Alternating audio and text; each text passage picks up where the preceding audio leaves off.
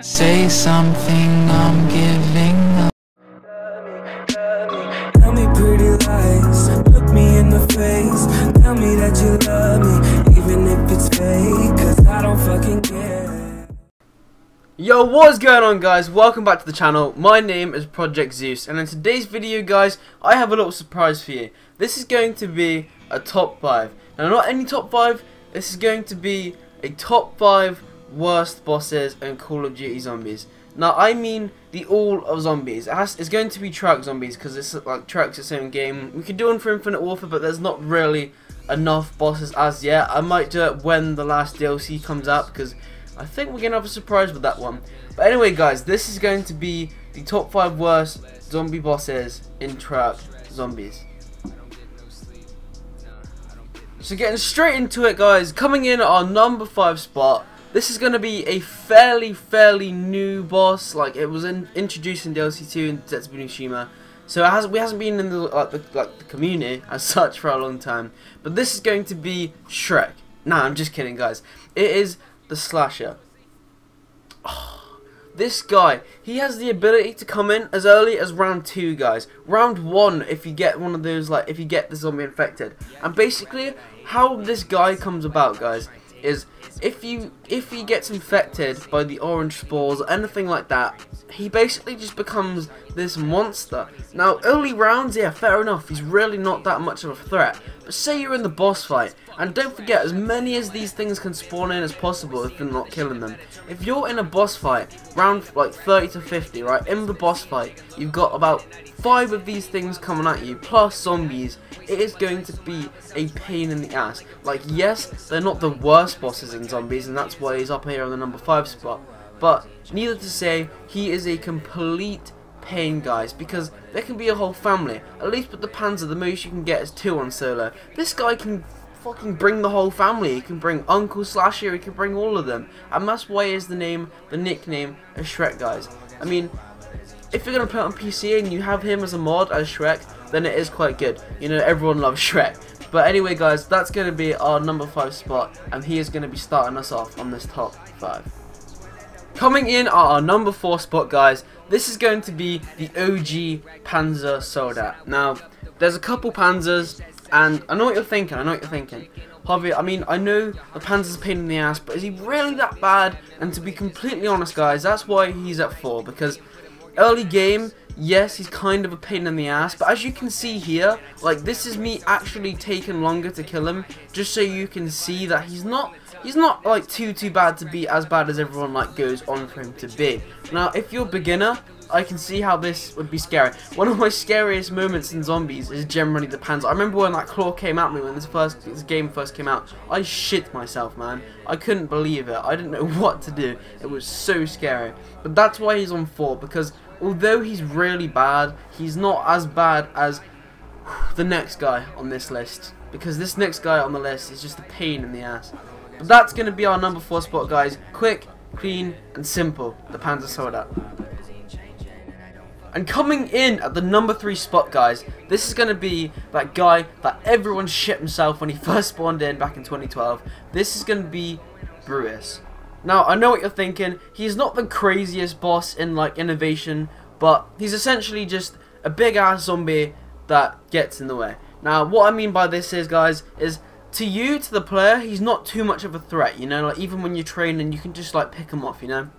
Take his hat off, use the Hell's Retriever. He's really not that much of a threat as a boss in general.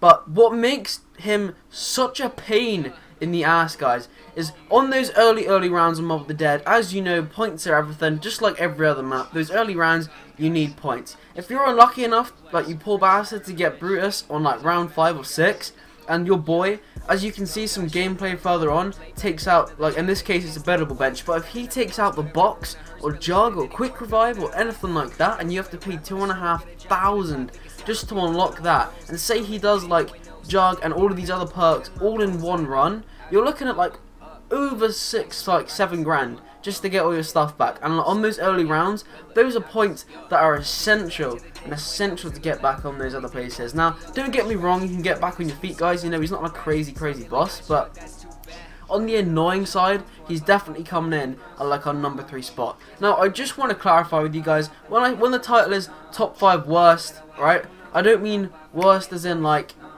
they're the worst zombies out of like like the bosses, like they're shit bosses if you know what I mean. I mean like they're the like the top five most pain in the ass zombies. Okay, so basically that's gonna be our number three spot. Alright, we are getting ever closer to that number one spot, guys. But this, for now, is going to be our number two spot. And this is probably kind of in a tie with number one with the most annoying dick of the zombie bosses. Because to be honest, the amount of times this guy has made me rage quit. And I don't rage quit easily. Like, I used to play the Borderlands games and I would sit there and grind and grind and grind for hours. So it takes a lot to get me to rage quit. Honestly, it does. But this is the map that did it the most. OG Black Ops 1, where the, uh, the gameplay you can see now, where there was no per perkaholic or nothing to help you out, nothing nice like that. You'd go all the way down twice to get Jug, you'd come back, and this motherfucker, this motherfucker, as soon as you walk through that door, BAP! He just picks you up, takes your perk and throws you halfway across the map on a red screen and you get downed by a little zombie. This guy is the bane of my existence on like, BO1 Moon. This is the reason not a lot of people like BO1 Moon because this guy right here, he's just such a dick. like yes, we've got like now we've got the uh, Mark II. We've got all the BO3 powerful weapons. We've got the Zap guns obviously everything you could possibly need on a death machine, anything you could possibly want to take out this douchebag. But on BO1, this guy was an absolute dickbag. Now, I've never said that, but that's how much of a dick he is. Now, that's why he's going to be our number two spot, guys. And here it is, guys, number one, spot number one. It is that motherfucker. I bet you guys didn't even remember this boy. But he's still coming at us to this day, six years later. And this is my boy, the Pentagon Thief. Now I know what you're thinking, as a boss, he doesn't do anything to you. He's not really that bad. But honestly guys, this guy is a pain in the ass. Now I can speak from experience. Six years ago, I was pretty much just starting out in my zombies career, you know, like just like I was, but I've been playing it for a year, not not not too long, still pretty shit back then, you know. So I'm just starting playing, playing this this map. It's alright. It's you know, it's in the Pentagon. It's pretty pretty cool theme for a map, you know. So I'm just going around doing my thing, and then boom, this motherfucker just comes out of nowhere and steals my gun that I've just been trying to get. Now, if you had just got your ray gun stolen back in the day as a kid, that pissed you off. Little Jimmy is salty as fuck right now. That made you so, so mad. And that's why this guy is probably the most annoying boss to me anyway. Like, I can't think of anything more annoying than getting your gun taken away from me, you know? It's just, he's, he's just such a dick. Now, there is one good thing that comes out of this, and also, this one good thing makes him from not being more than hated. Now, this thing is called the Bonfire Sale. 5 was the only map that the Bonfire Sale was ever introduced in. It had its debut in it, and it was its last debut, basically, because that was the last time we saw it. Now, essentially, those of you that may not have played 5, because, you know, you'd be surprised, not a lot of people have played the older maps, what this was, was think of a fire sale, but for Pack-a-Punching. So basically, you would get this massive, massive drop that looked so dope, which you would only get from killing this motherfucker here. and you'd basically go to the teleporter room, and you would go into where you can Pack-a-Punch, and it would be 1,000 points to Pack-a-Punch your guns.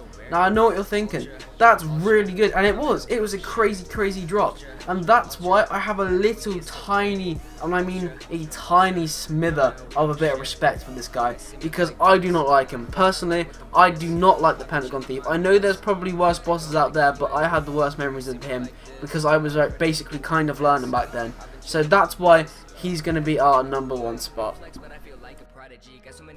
So there you have it guys, there is our updated to the time 2017 top 5 worst bosses in all of Call of Duty Zombies. Holy shit, you did it, congratulations, you sat through a whole video listening to me. Woo, good job guys. Now but no joke, that is going to be the video guys. I hope you guys enjoyed it. I spent too much, too much time to be honest. I spent quite a long time editing this one. So if you enjoy it, please tell your friends uh, get it out there, subscribe, you know, I would love it if you subscribed. And I promised, I promised, and it's happening, guys.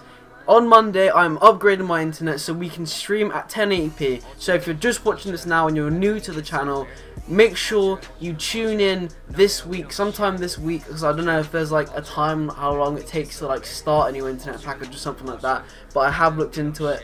And we are going to be streaming in 1080p quality streams. It's gonna be fucking sick. So thank you so so much for coming out, guys. I hope you enjoyed this video because I spent a long time on it, you know. And I'll catch you in the next one. Peace. If I